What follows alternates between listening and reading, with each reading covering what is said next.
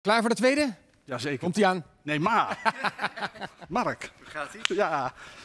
Goed naar vorige week. Ja? Ja, vorige week heb je hem ook al op de grill gelegd. Ja, vond je? eh, nou, nee, eigenlijk niet. Nee, hè? Viel mee, toch? Ja, viel mee. Nee, nee, kijk, eh, eh, leuk dat je er bent. Ik, Graag. volgens mij doe je het ook een beetje om het, het, de woord transparantie. Ja, daar wil ik eigenlijk even met je over hebben, de komende twaalf minuten. Nou, nee, ik, ik, ik doe het eh, omdat ik vind dat als je bij de publieke omroep werkt. Je en kijkt in- heel serieus nu. Ja, nee, maar omdat het ook wel een, een serieus antwoord is. Eh, omdat ik vind dat eh, in elk van mijn voorgangers of anderen binnen de publieke omroep eh, veel te weinig verantwoording afleggen Ja. voor datgene wat ze doen. En ik weet niet of dat transparantie is, maar ik, ik vind dat bij een publieke taak, bij een publieke functie, hoort ook dat je bij tijd en wijle gewoon dit soort gesprekken voert. Laten we eerst het, de pijnlijke dingen even doen. Zullen we even eerst huishoudelijke mededelingen doen? Ik ben al blij dat we ook nog leuk eindigen. Ja, ja, ja. Ehm Galite Sophie, Ja. tweede seizoen? Je mag het nu zeggen. Want, eh, ja. Ja, nou niet alleen het tweede seizoen, maar dit, Ga- gaan ze door? Ze gaan door, maar dit, eh, dit is ook weer zo'n werkelijkheid. Eh, dit zat al gewoon helemaal in de planning. Dus dit is niet. Ik, ik las ook artikelen van. Ondanks dat ze het niet fantastisch gedaan hebben, gaan ze toch door. Maar het seizoen loopt van september tot september. Ja, ja. En zij zitten gewoon in het tweede deel van Maar dit gaan ze seizoen. dan na september nog door? Dat, dat weten we niet, want daar hebben we nog geen besluit over genomen. Maar daar ga je het toch over? Ja, maar dat besluit hebben we nu nog niet genomen. Want Nee, dat zou ook een beetje gek zijn als ze nog in de tweede helft van dit seizoen Nee, nee, maar, maar hoe vind je dat halverwege gaat dan? Nou, je ziet, je ziet een paar zaken. Je ziet een stijgende lijn in de belangstelling voor het programma. En ik vind ook dat er een hele duidelijke relatie ligt tussen de stijging voor de van de belangstelling en het feit dat ze veel beter in vorm raken. Dat zie je gewoon, elke dag. Maar ik moet nog streng op je worden. Nou ben je de man die de Mao van Mediapark wordt genoemd. Ja, niet, dat vind Maar hij is maar één bijnaam, hè?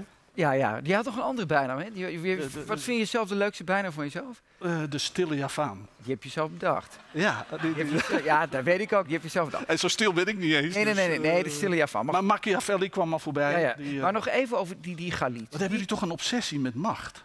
Ik niet. Nee, maar ik, ik merk het elke keer in dit soort interviews. Ja. Dat ik denk, waar Nee, komt dat toch wil- daar wil vandaan? ik helemaal niet naartoe. Kijk, die, die, die, die Galit die zit daar dan en die heeft, die heeft bij het OM nog een, een kruisje staan. Hoe, Ja. hoe is het in godsnaam mogelijk dat je dat niet hebt tegengehouden?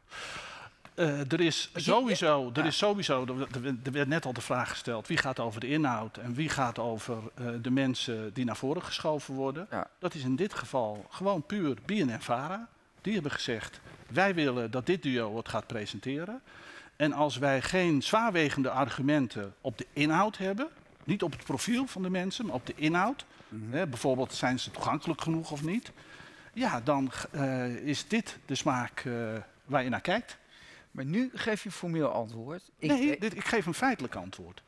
Ik geef, zo is het echt gegaan. Je weet ook, ik wil er wel iets verder over vertellen. zeg maar. Ik bedoel, de, de- wij, kwamen, wij kwamen in gesprek met BNN-Vara eh, over het vorige duo eh, eh, van de vooravond. Dat ja, weet je. Fidan en Rensen. Niet urgent werd dat genoemd. Ja, maar Terwijl, terwijl deze Galit die zit in het dossier van Tachi. En op dag, de dag dat Tachi, als dat speelt, zou je denken, nou, aan, a- aan de slag, eh gozertje. klinkt, klinkt wel aardig urgent. Ja, Die, eh, du- dus daarmee zeg je dat toch dat dat enorm fout gegaan is? Nee, ik zeg dat dit een, een, een keuze is. Toen BNN-Vara eh, tegen ons zeiden... wij denken dat Fidan en Rens... en ik ga het echt gewoon vertellen zoals we het gewisseld hebben... dat die niet verder groeien in urgentie, in kwaliteit... in, in, in aandacht eh, Ja. richting het publiek. Wij willen echt een wissel. Wij willen een wissel van eh, de spelers op... eh, Ja. Eh, en toen hadden wij de keus eh, om een rode kaart te trekken of niet. ja. En wij zagen niet voldoende grond om dat op dat moment te doen. Toch, Dat is het echte verhaal. maar het, het bizarre, Frans. Jij bent nou de baas over 500 miljoen euro. Hè? Daar ga je over. Eh, Besef je dat wel? Wat je dan, dat jij dat elke dag mag mm,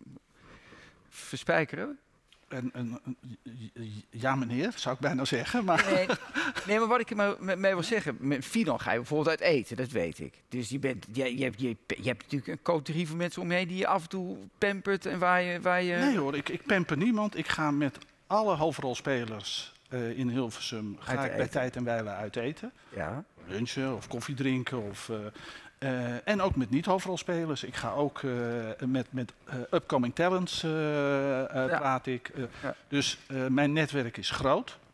En gelukkig ook maar, want je moet natuurlijk wel connected zijn met wat we aan het doen zijn. Maar Fidan komt dan nu terug bij WNL, bij, bij Op1. Is dat toch niet uit te leggen? Dat, dat- ze doet een petje op, petje af en ze komt er weer te zitten. Je- eh, hoe, Ja, maar dat is, dat is een... hoe, dat- hoe zijn we in deze situatie terechtgekomen? Dat, we, dat het publieke omroep, dat dat het een soort handelshuis is geworden. Ja, maar het makkelijke en het echte antwoord is dat het uiteindelijk ook te maken heeft met de complexiteit van dit systeem.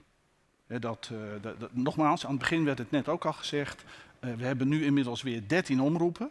Hè, die, en die zijn redelijk zelfstandig in eh, wie ze contracteren, wie ze aan zich binden en vervolgens wie ze op het bord proberen te spelen. Mhm. En op dat bord spelen, daar spelen wij natuurlijk ook een rol in, even voor alle duidelijkheid. Nou, een hele grote rol toch? Daar spelen we, nou, ik ga met je mee, daar spelen wij een grote rol in. Maar je kunt niet iemand, kijk, wij hebben vooral een heel groot recht om nee te zeggen. Wij hebben een klein recht om mensen zelf eh, eh, op het parcours te zetten.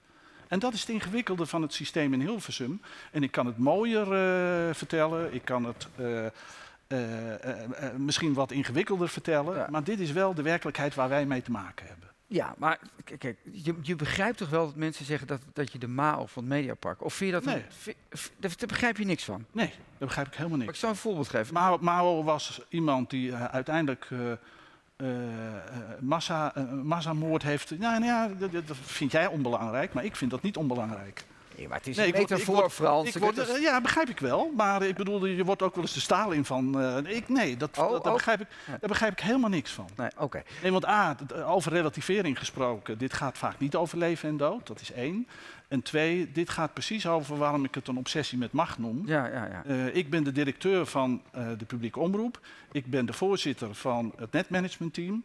De netmanagers selecteren elke dag nieuwe programma's. Zonder invloed, zonder aanwijzing van mijn kant. Puur op basis van de inzichten die we met elkaar hebben afgesproken over de programmering. En vervolgens eh, nou ja, blijkt de, de, de frame rondom mijn persoon wel redelijk effectief. Ja, oké. Maar het NPO-fonds, gedonder over nu. Daar, dat is, daar, daar heb je nog een systeem dat er nog een soort laagje tussen zit voor mensen die dan, eh, die, de, de makers komen er eens langs en dan heb je nog een laagje ertussen. Al dat geld gaat, hop, komt ook weer bij jullie terecht, bij jou terecht. Mensen denken nog, die denken ja, het, de, de, macht van klein neemt weer toe met daaronder dat laagje van, van die netmanagers. Ja. Je begrijpt wel dat mensen de transparantie daarvan totaal onduidelijk vinden. Maar is- wel, welke transparantie precies? Nou ja, kijk, als iemand een programma aanbiedt, je zegt ik ben manager in nee zeggen, maar dus er is nooit een test van, nou, waarom is iets afgewezen? De, de, de afwijzingen worden nauwelijks eh, hoe heet het, eh, beargumenteerd. Ja, dat is toch dat raar? Dat is niet waar. Wij, wij. Nee, wij- dat is niet waar. Wij, wij, wij hebben elke dag gesprekken met omroepen. Het systeem is zo ingericht dat onze gesprekspartner de omroep van dienst is. Dat is nou helemaal niet anders. Je kan als maker niet rechtstreeks bij de NPO intekenen. En wij argumenteren veelvuldig met de omroepen over waarom wel of niet iets geplaatst. Maar nu breek ik toch, toch een beetje streng tegen je. Ja, Ehm, maar het omdat... zou leuk eindigen, hè?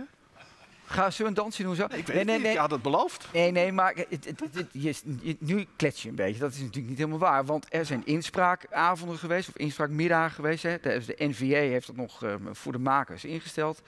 Twee keer zijn daar mensen geweest en daarna was het niet meer. Dat geeft toch te denken. Of is het al een teken dat je het briljant doet? Niemand Nee. durft zijn, eh, eh, Nee. tegen jou op te staan als er bijeenkomsten zijn. Helemaal niemand. Er komt zelfs niemand opdagen. Nee, dat is ook, sorry hoor, Mark, dit is echt apenkool. Ik heb de laatste keer dat ik in beeldgeluid in zo'n zaaltje zat, zat vol met makers, ging over, over de vorige ronde van programma's eh, die we veranderd hebben, Ja. ook stopgezet hebben. Eh, en ik durf wel te zeggen, dat was een kolkende massa. Nee, dat was al de één mensen. keer. Maar Ja. goed, alle informatie daarna. Ik zeg, niemand durft. Ik, ik geef je een illustratie van waarom, hoe we dat doen. In open dialoog, ook met de makers als het nodig is. Het was zeer kritisch. Maar vorige week... was zelfs buitengewoon eh agressief, om het maar... ja, eh, zeker. Nee, dus, nee maar dan, dan begrijp je dat ik dan zeg, ik, ik zit hier niet toneel te spelen. Ik zeg alleen, op het moment dat mensen gewoon vrijuit en ook vrij confronterend en beschuldigend en soms onterecht beschuldigend. Klopt. Dit, en dat, dat zijn makers face-to-face, hè? gewoon, nogmaals, in dit soort zaaltjes. Ja, dan vind ik dat moeilijk te, eh, te plaatsen met het beeld wat eh, soms journalisten erop willen plakken. Angstcultuur, bang, eh, n- eh, niet vrij uit kunnen spreken. Dat doen ze gewoon als ik erbij ben. Maar wacht even, vorige week we- spraken we elkaar ook. En toen zei je tegen me, ja, als ik een omroep was, dan zou ik mijn makers daar niet naartoe sturen. Dat ging over een andere bijeenkomst. Dat ging over. Dus met- Wij hebben met de NVA afgesproken dat we eens per jaar zo'n bijeenkomst zouden organiseren. Er kwam niemand opdagen. Drie jaar geleden eh, zijn we daarmee begonnen. Eh, daarna hebben we ook spreekuur eh, ingesteld. Daar kwamen de makers niet op dagen, omdat ik zelf ook zei: ik weet dat omroepen zeggen: we hebben liever niet omroepen, hè?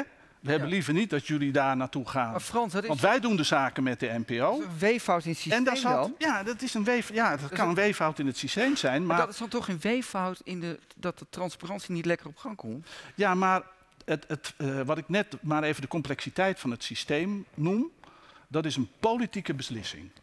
Dat wij dit willen handhaven. Er wordt nu ook veel, er wordt nu ook veel geschreven over de nieuwe toetreders. Of Ja. dat verstandig is dat we dat zo doen. Dat is een beslissing beyond my reach. Maar we hebben nog 1 minuut 18. Ja. Je kan daar nu een statement maken naar de politiek toe, naar de mensen. Dat is dus een, je zegt een weeffout. Je, je baas heeft gezegd dat het een giftige cocktail is tegen mij, Sjoela Rijksman. Ja, Daar zat je bij dat ze dat zei. Dat is nogal wat. Dus we hebben een systeem dat niet werkt, waar jij van zegt, ja, dat is een politieke week. Moet dat anders? Ik zei overigens niet dat het systeem niet werkt. Ik geef een verklaring van waarom bepaalde zaken lopen zoals ze lopen. Maar moet het anders, Frans? Ik, ik, ik, ik stel een paar dingen vast, maar een beetje geabstraheerd. Eén, we hebben een hele rijke programmering. Als je eh, ons benchmarkt met publieke omroepen, die veel beter gefinancierd eh, zijn, hebben we een veel grotere variëteit eh, en ook een grotere creativiteit dan menig publieke omroep in Europa. Meer dan andere publieke omroepen weten wij nog de jonge doelgroepen te bereiken. Dat, ik wil alleen maar zeggen, als jij zegt het werkt niet, dan vraag ik alleen maar, wat werkt niet precies? Nou, Zijn we, zijn we niet inhoudelijk genoeg? Eh, weet je, we- bereiken we het publiek niet? Worden we niet, worden we niet voldoende omarmd door eh, het Nederlandse publiek? Dus op al dit soort eh, zaken staat in elk geval onze benchmark in groen. Oké. Mark Koster, dames en heren. Mooi.